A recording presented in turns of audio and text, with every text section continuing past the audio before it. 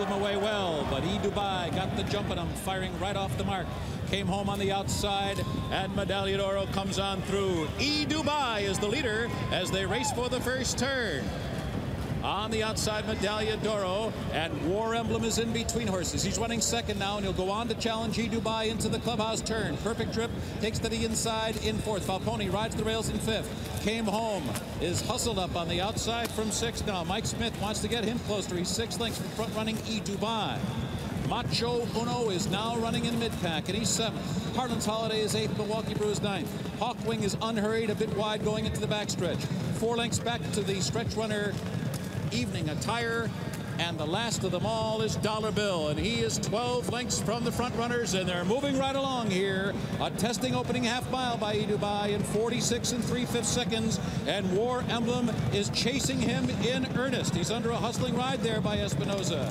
And Perfect Drift is just coasting along in third. Medaglia d'Oro oh fourth with five furlongs to go here. Toward the inside, Volponi bottled up in fifth. And then it's Harlan's Holiday, sixth as they approach the far turn. Macho Uno is moving up methodically on the inside, and Came Home is coming up empty. Hawk Wing is now beginning to circle horses on the far outside. Hawk Wing's in gear. So too is Milwaukee Brew.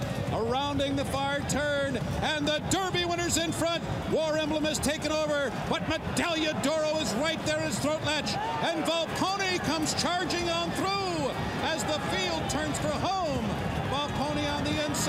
Taken over. The leader at the top of the stretch. He's leading Medaglia d'Oro behind in second. And War Emblem is spent.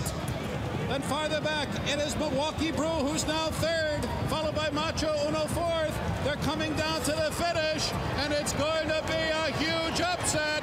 40 to 1 on the wire. Volponi scores in the Classic. He wins by a half a dozen lengths. Finishing in second with the photo finish there with Milwaukee Brew.